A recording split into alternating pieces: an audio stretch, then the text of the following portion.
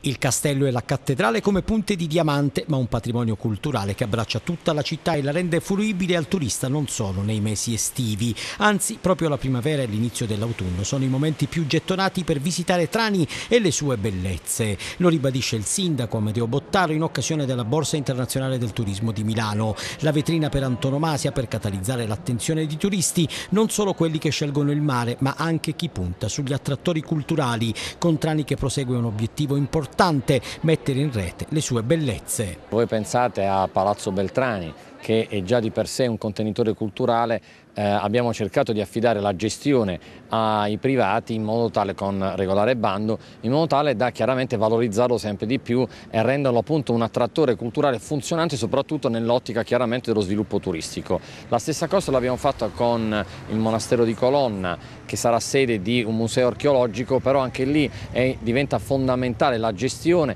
anche lì abbiamo appena giudicato a un privato per cui eh, si sta attrezzando per lo start-up, per aprire quindi anche questo secondo eh, contenitore culturale importantissimo come un museo archeologico, abbiamo già il gran lavoro fatto sul territorio dalla Fondazione Seca, penso in questo senso al polo museale nel senso che comprende, eh, lo ricorda tutti, il Museo della macchina da scrivere che rappresenta un unicum non chiaramente per la regione Puglia ma addirittura per eh, l'Italia intera, eh, associato con eh, il museo sempre gestito dalla Fondazione Seca